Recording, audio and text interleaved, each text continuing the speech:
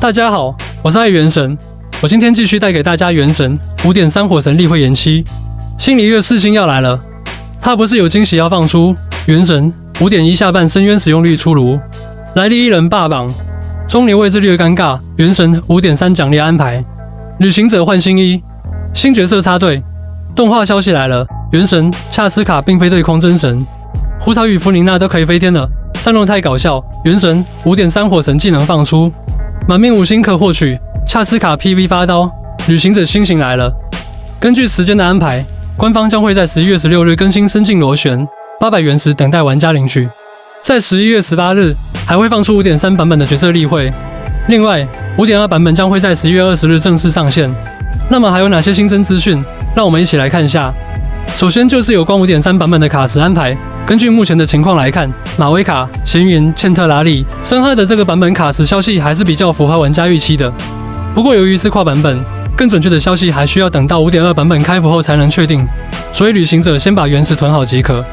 由于五点三下半正好卡在过年，所以一年一度的海灯节也即将开启。根据目前的消息来看，这就确定的两款皮肤为夜蓝和胡桃，大致了解下即可。不过倒是可以提前囤一些创世结晶。目前有关火神技能的说法是。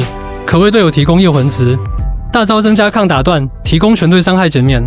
二命效果则是当发生火元素反应时，全队伤害提升。六命则是释放战技后，提升自身普攻、重击伤害、协同攻击伤害。考虑到马威卡的位置，怎么说也要抽个二加一才可以。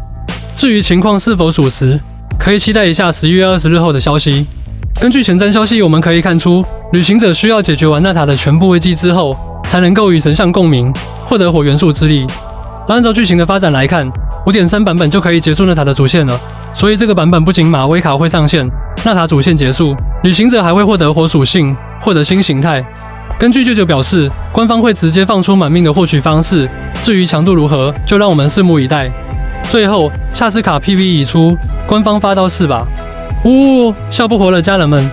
时代变了，胡桃和弗宁娜也拥有飞行能力了。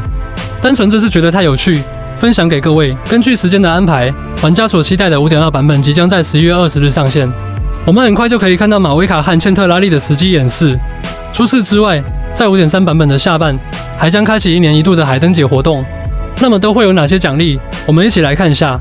按照往年的安排，都会有一个签到领十连的富贵登门奖励，五点三版本也不例外。另外，则是大型版本活动，具体信息和玩法还需要等下后续消息。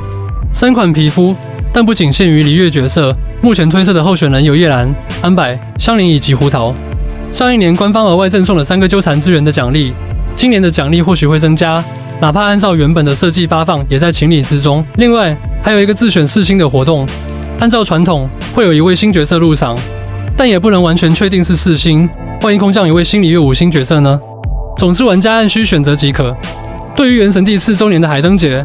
各位旅行者们其实还是很期待的。既然在之前都换衣服了，那么在海灯节版本中，是不是也会有新衣亮相？不知这一次官方会给玩家带来怎样的惊喜？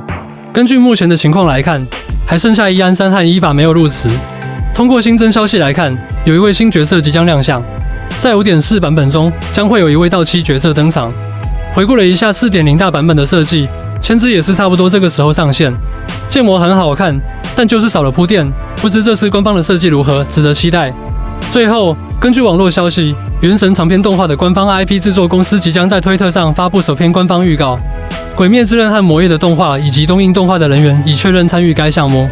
虽然说有关动画的消息每隔一段时间就会放出来，但这次是不是真的快了？希望能够在年前见到。期待以龙队伍为主的芙宁娜、希诺宁、纳维莱特登顶，其中多了一位钟离，显得有些格格不入。看了下半还是钟离更吃香。在第二等阶排名中，万叶以百分之六十七点六的使用率位居第一，其次则是叶兰、班尼特、纳西达、汉布的阿雷奇诺。真不愧是我们的六星火神，紫色背景非常显眼。由于希诺宁的加入，白族的使用率降低，仅有百分之三十二点八。看来在希诺宁复刻之前，白族基本可以保持在这个水平了。雷队由于 buff 问题排名略低，看来角色强不强？还得看深渊 buff 那，然后再来看一下队伍使用率的情况。排名第一个的是新晋队伍，原本的百万福白被替换，变成了纳福万西。下半由于水行换人的关系，提巴达中使用率高达百分之二十四点四，晋升至第二位。后续的角色使用率基本比较均。另外，比较有意思的是，在第十九名中，莱欧斯利靠着百分之五点六的使用率，顽强的扛下了上半和下半的挑战，处理拉满。怪不得官方一直不肯让莱欧复刻，原来实力这么强。上一次还是水龙一人通关，下次这么强的角色，怕不是我们的马威卡了吧？由于每一次的深渊 buff 不同，角色使用率、队伍排名情况会发生一些变化。角色排名不影响玩家对他们的喜爱。真没想到火神的例会延期了，按理说应该在十一月十八日晚十八点发布的，结果到点之后官方并没有动静，反而是隔壁崩铁放出了二点七版本前瞻推文。类似例会延期事情很少见，到底发生了什么呢？根据网友们提供的消息来看，很有可能和 TGA 公布获奖提名有关系。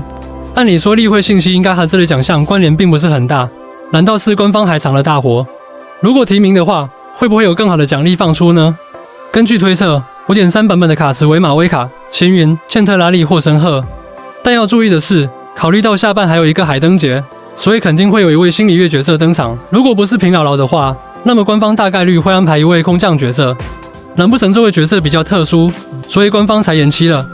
至于和例会延期有没有关系，暂且不知，还是要看一下官方次日的操作。所以各位旅行者先不要太着急，次日就会有新内容了。官方已放出五点二版本的预下载以及上半的卡池信息，限定五星安排为恰斯卡和林尼，四星陪跑芭芭拉、砂糖和欧洛伦。这样来看，只有新角色值得玩家去捞一捞。但不推荐为了四星角色下卡池，很容易歪出至于武器陪跑，分别是神浪的回旋、醉花之灵、敌剑、中剑、西风长枪。